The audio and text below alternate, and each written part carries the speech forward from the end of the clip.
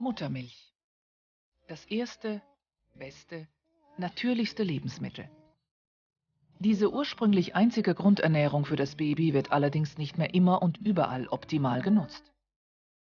Zivilisationskrankheiten wie Allergien und Berufsstress einerseits, einseitige mangelhafte Ernährung und fehlende Aufklärung andererseits haben dazu geführt, dass prozentual immer weniger Mütter stillen wollen oder können.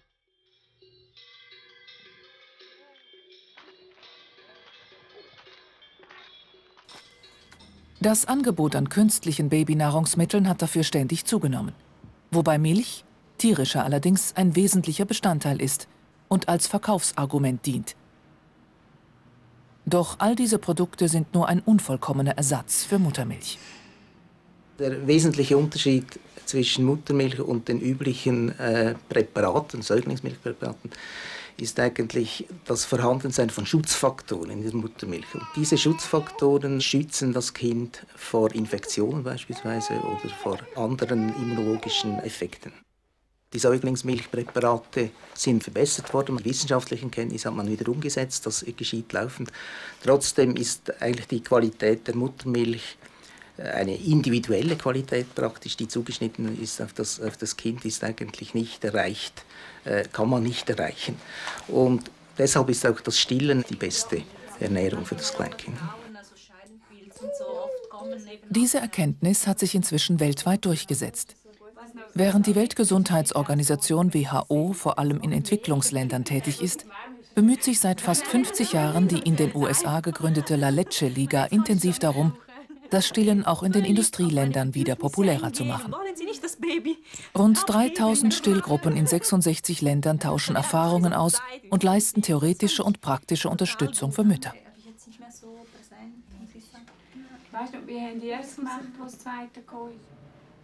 Tierische Milch und Milchprodukte sind für den Menschen als Nahrungsquelle allerdings noch nicht sehr lange üblich. Die Fähigkeit, tierische Milch zu verdauen und dadurch Kalzium und Vitamin D aufzunehmen, hat sich vor allem bei jenen Völkern entwickelt, denen die geografischen Gegebenheiten wenig Sonne und damit wenig Frischgemüse bescherten. Abzulesen an den traditionellen Gerichten Asiens. In Chinas Küche kommt Milch nicht vor. In den benachbarten, aber ungemein gebirgigen Ländern wie Nepal, Indien oder Kasachstan gehört Milch aber zu den Grundnahrungsmitteln. Das liegt an genetischen Unterschieden.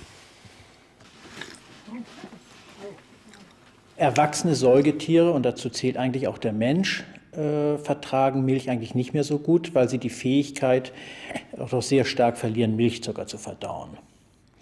Und es hat jetzt aber vor na, einigen 10.000 Jahren in einer Bevölkerungsgruppe, den sogenannten Kaukasiern, eine Mutation gegeben, die dazu führte, dass die Fähigkeit, Milchzucker zu verdauen, praktisch lebenslang erhalten blieb.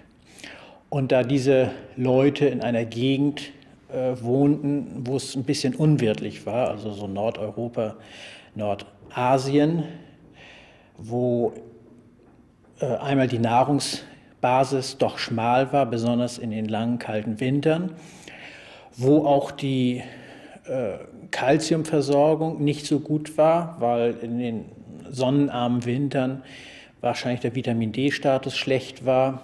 Da konnte dann die Fähigkeit, das ganze Leben lang Milch zu verzehren und eben auch Milchtiere zu halten, einmal die Nahrungsbasis verbreitern und b auch die Kalziumversorgung speziell verbessern. Klimatisch bedingt stützt sich vor allem in Mittel- und Nordeuropa die Landwirtschaft auf die Milchproduktion, in Dänemark zum Beispiel. Aber der Wettbewerbsdruck ist groß. Mechanisierung, Rationalisierung, Automatisierung heißen die Rezepte, um die Personalkosten zu senken. Diese 150 Milchkühe des Bauern Jens Matzen in Nordjütland zum Beispiel erhalten Jahr aus, Jahr ein das gleiche Futter, Silage. Kein Weidegang, kein grünes Gras. Im großen Laufstall kann sich jede Kuh nach Belieben hinlegen, fressen, bewegen und sich nach Belieben von einem der beiden Melkroboter melken lassen, allerdings frühestens vier Stunden nach dem letzten Melken, Sonst wird sie wieder automatisch in den Stall zurückbefördert. Der Anreiz, den Robotermelkstand aufzusuchen, besteht in einer angemessenen, vom Computer mengen- und qualitätsmäßig dosierten Portion Zusatz- und Kraftfutter. Automatisch wird das Euter gereinigt. Dann setzt der Roboter die Melknäpfe an die Zitzen, gesteuert von einer laserstrahlbestückten Minikamera.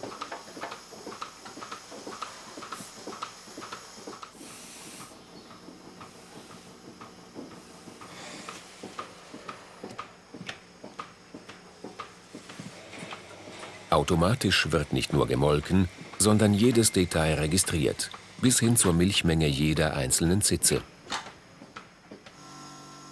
Automatisch wird die Milch auch in den Milchraum und den Milchtank gepumpt und dabei gekühlt, wobei die Abwärme zur Heizung des Wohnhauses genutzt wird. Automatisch wird auch jede Zitze einzeln abgehängt, wenn sie leer gemolken ist. Das Tor des Melkstandes öffnet sich und automatisch werden dann Laserkamera, Melknäpfe und Melkstand gereinigt. Die nächste Kuh steht schon bereit. Kein Mensch muss Hand anlegen.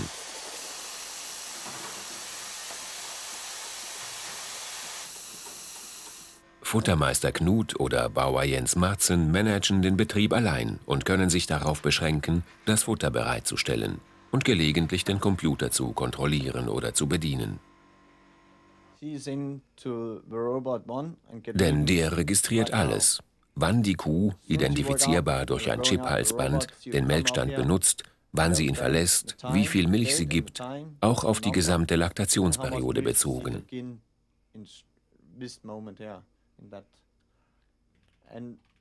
Hat eine Kuh den Melkstand während zwölf Stunden nicht mehr aufgesucht, kommt der Alarm.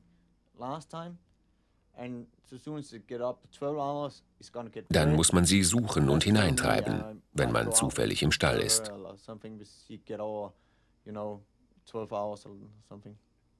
Andernfalls oder bei Systemstörungen erfolgt der Alarm per Telefon, per SMS auf das Handy oder akustisch auf das Festnetz. Einfache Störungen können mit kodierten Mitteilungen sogar telefonisch behoben werden.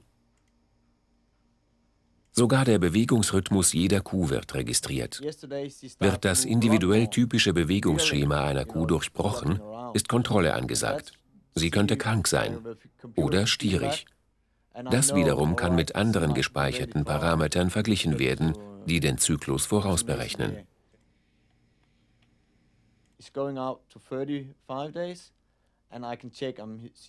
Trifft das zu, wird die Kuh künstlich besamt. Während der neunmonatigen Tragzeit nimmt die Milchleistung sukzessive ab. Zwei Monate vor der Geburt hört die Milchproduktion ganz auf. Eine Hochleistungskuh produziert in den zehn Monaten ihrer Laktation 15.000 Liter Milch und wirft meistens ein Kalb pro Jahr. Die Kälber werden nur in den ersten Tagen mit der Milch ihrer Mütter gefüttert. Dann müssen sie sich am Milchpulverautomaten bedienen. Das ist billiger. Die Kühe werden mit sechs bis acht Jahren, nach vier bis sechs Laktationsperioden, wegen zurückgehender Milchleistung geschlachtet. In Nordjütland steht auch der einem Zirkuszelt gleichende Kuhstall Hedegord. Das Melkkarussell funktioniert zwar noch nicht vollautomatisch, aber zwei Mann genügen, um morgens und abends innerhalb fünf Viertelstunden 300 Kühe zu melken. Der Preisdruck hat in der EU den Strukturwandel vom Familienlandwirtschaftsbetrieb zum Industriebetrieb mit möglichst kleinem Personaleinsatz sehr stark beschleunigt. Zweimal am Tag werden die 300 Milchkühe von ihren Futter- und Liegeplätzen zum Melken getrieben. Auch hier sorgt die bevorstehende Zusatzfütterung im Karussell für einen erhöhten Anreiz, auf das Karussell aufzusteigen. Auch hier wird jede Kuh beim Eintritt aufgrund ihres Halsbandchips identifiziert.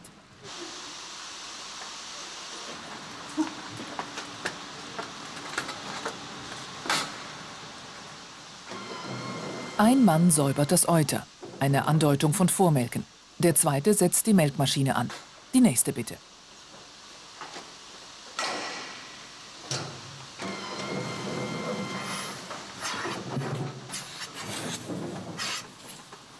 Langsam dreht sich das ganze Gestell, auf dem die Kühe stehen. Mit der aus der Milchkühlung entstehenden Abwärme wird das Trinkwasser um 10 Grad aufgeheizt.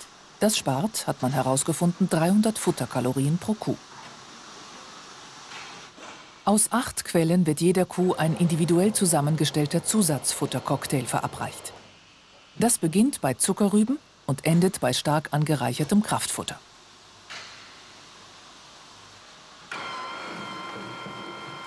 Und der Computer liefert täglich die Resultate.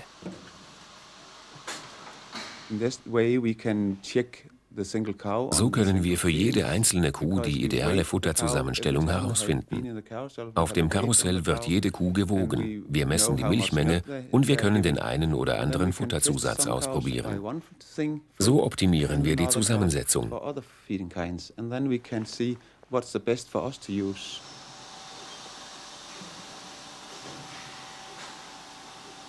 60 Kühe haben gleichzeitig auf dem Karussell Platz. Ist eine Kuh leer gemolken, wird die Melkgarnitur automatisch abgezogen. Nach rund einer Viertelstunde ist die Rundfahrt zu Ende. Bitte aussteigen, saufen, fressen, Milch produzieren. Bis zur nächsten Karussellfahrt.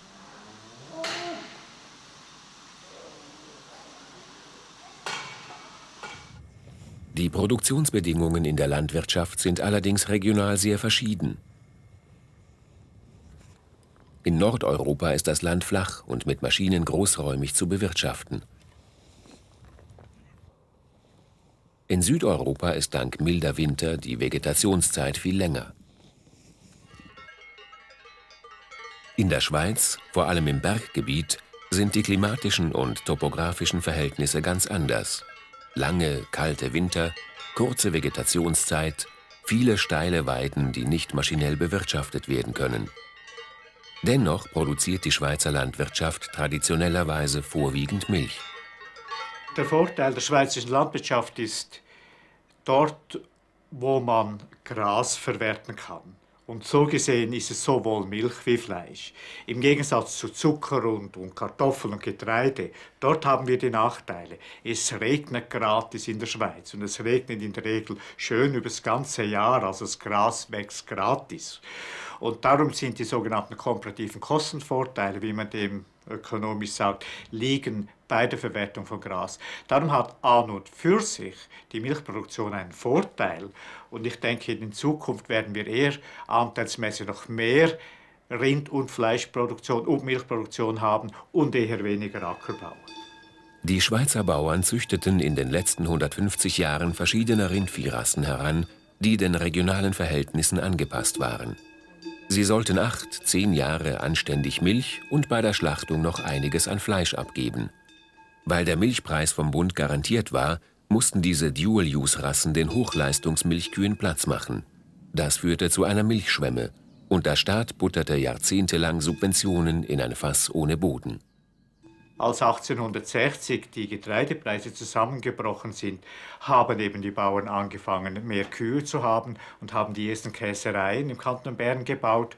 Und wir sagen ökonomisch, Dort fand der Übergang von der Kornkrise zur Milchkrise statt. Weil alle auf Milch umgestellt haben, haben wir jetzt seit 130 Jahren immer ein Milchproblem. Und weil wir immer die Käse exportieren wollten und das Ausland immer billiger war oder der Weltmarkt zu tief war im Vergleich zum Inland, musste man halt immer anfangen zu subventionieren. Obwohl der Direktkonsum von Milch seit 50 Jahren sinkt, hat die Verwendung von Milch in Folgeprodukten, vor allem in Schokolade, zugenommen. Und das Image ist gut. Milch wird für alle möglichen Produkte als Verkaufsargument benutzt.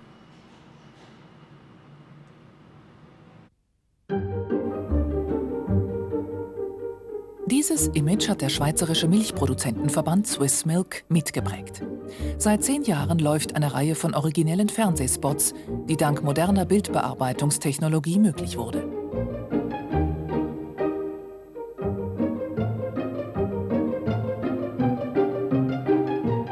Die Kuh Lovely ist der Star der vielfach ausgezeichneten Werbespot-Serie. Sie wohnt in einem auf Tierdressur spezialisierten Zoo außerhalb von London und wird von ihren Pflegern im Studio mit List und Tücke dazu verführt, die gewünschten Bewegungen auszuführen. Und so sieht das Resultat aus.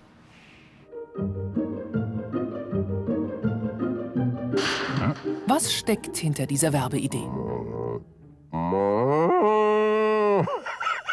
Da steckt natürlich vor allem auch die Technologie dahinter. Äh, es war vor zehn Jahren das erste Mal möglich, eben diese Art äh, Spots zu machen. Das äh, braucht komplexe Computersysteme und diese Technologie war gerade in dem Moment reif, als wir die Idee hatten, eben die Kuh zu brauchen. Wichtig war, dass man die natürlichen Bewegungen von Mensch und Tier filmen und verwenden konnte. Erstaunlich, wie einfach ein Astronaut die Schwerelosigkeit simulieren kann, oder mindestens einen Teil davon. Dann bedurfte es eines außerordentlich leistungsfähigen Grafikcomputers. In London fand man ihn. Er hatte seine Qualitäten bei der Produktion des Films Terminator 2 bewiesen. Erst mit ihm wurde es möglich, Tricks zu verwenden, ohne dass man den Trick sehen konnte. Maßgeblich schuld an dieser Kampagne ist aber auch die schweizerische Gesetzgebung. Sie verbietet bei Nahrungsmitteln Argumente für die Gesundheit anzuführen, zum Beispiel die knochenverstärkende Wirkung von Calcium. Deshalb blieb kaum etwas anderes übrig, als das Image selbst zu pflegen. Milch, der Muntermacher der Natur. Milch ist ein traditionelles Produkt, äh, ist ein Naturprodukt, ist ein gesundes Produkt und die Kuh soll alle diese traditionellen Werte auf eine moderne Art inszenieren. Also die Verbindung äh, mit den traditionellen positiven Eigenschaften der Kuh, Ernährung und so weiter, aber auf eine moderne Art, um ein breites Zielpublikum auch anzusprechen. Der erfolgreichste Milchspot entstand 1994 passend zur Fußball-Weltmeisterschaft. Sie hieß wirklich Lovely, die erste Kuh für die Milchspots. Aber sie war klein und hatte keine Hörner. Also bastelte man Plastikhörner und setzte sie Lovely auf. Und um die wirkliche Größe zu kaschieren, engagierte man einen talentierten Fußball-Junioren. Für die Dribbelkünste musste Lovely dann ein wahres Gymnastikprogramm absolvieren – aber es lohnte sich. Der Fußballer Spot heimste etliche internationale Auszeichnungen ein.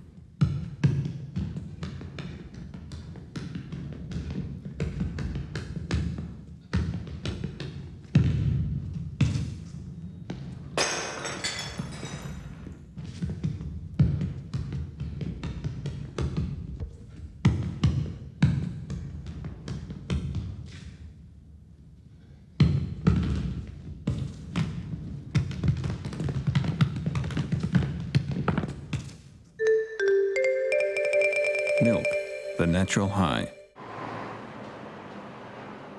Zum größten Schweizer Milchkonzern hat sich Emmy entwickelt. Rund 1600 Tonnen Milch werden täglich in die regional verteilten Sammelstellen angeliefert. Ein Drittel gelangt als Milch oder Rahm auf den Markt. Ein Drittel wird zu Käse verarbeitet. Über 500 Tonnen pro Tag werden zu Joghurt, Milchdrinks, Shakes, Quarkspeisen, Rahmdesserts zu einer großen Menge verschiedenster Frischprodukte veredelt.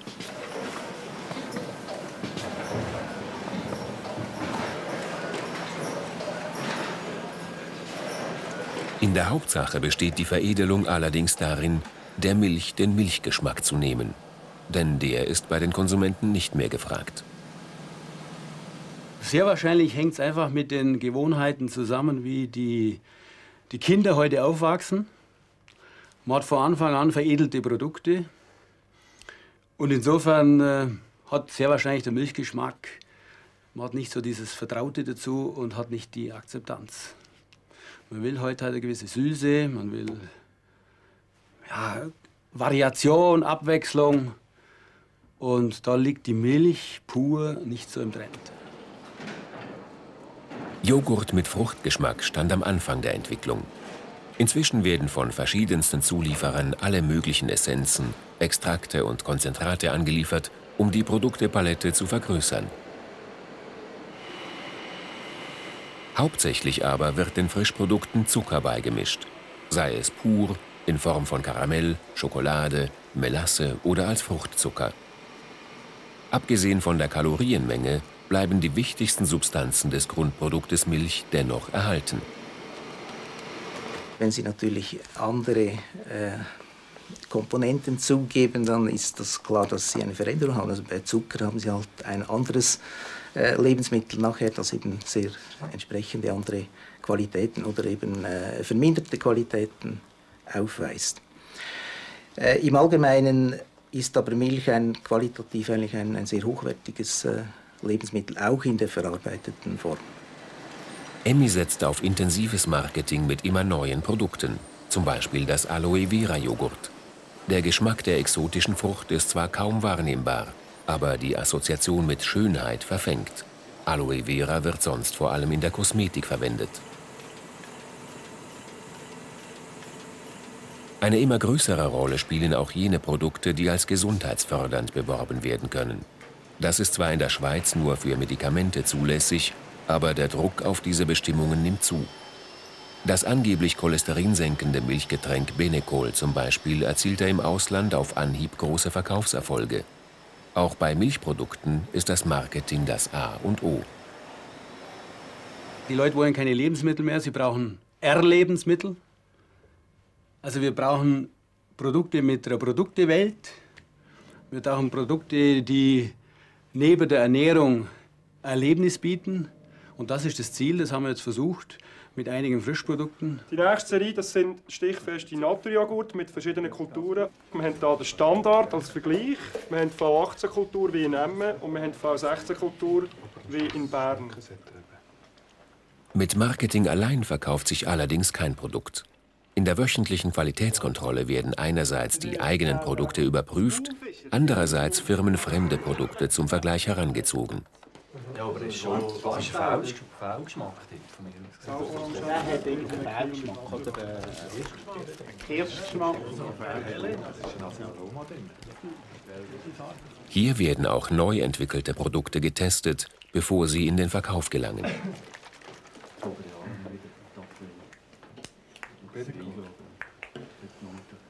Den Publikumsgeschmack zu treffen, ist allerdings oft eine Lotterie.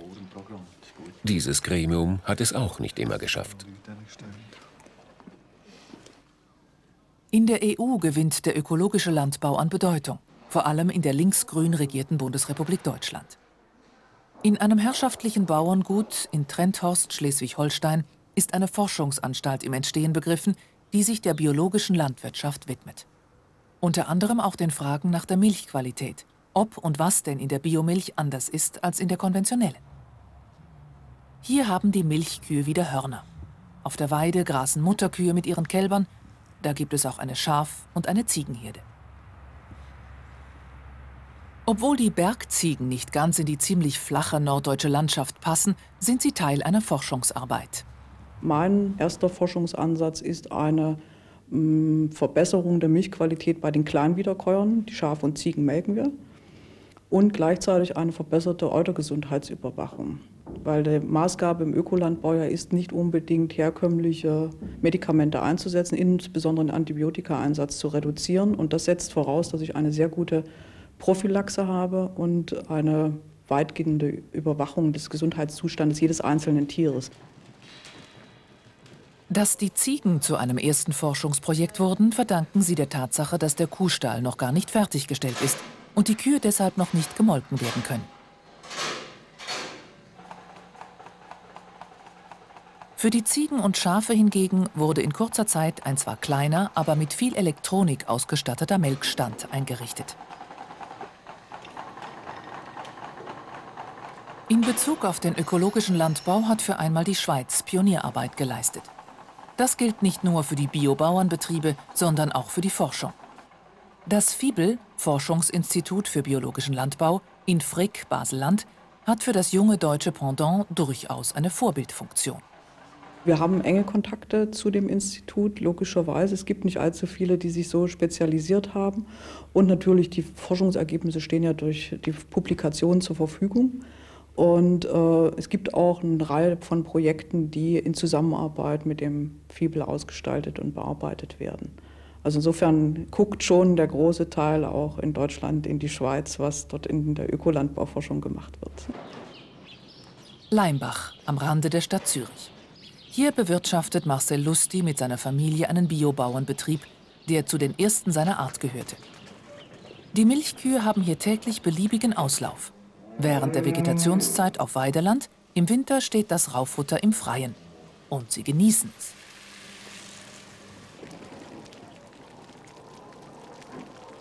Neben Milchkühen gibt es auf dem Leimbyhof an die 1000 Hühner mit großem Auslauf. Auch Schafe und Kaninchen. Und vor allem einen Hofladen, in dem die eigenen Produkte feilgeboten und rund um die Uhr in Selbstbedienung verkauft werden.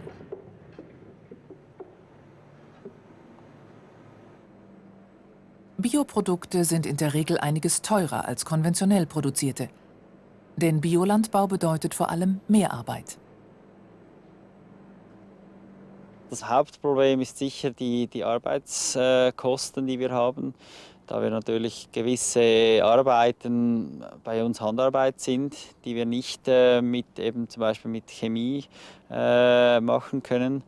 Und das sind natürlich zum Teil 10, 20-fache Arbeits, äh, Mehraufwand an Arbeitsstunden als ein IP-Betrieb hat. Beim Melken wird der Unterschied offensichtlich. Für das Reinigen und Vormelken nimmt sich Lusti viel Zeit. Auch das Ansetzen der Saugnäpfe erfolgt sorgfältig.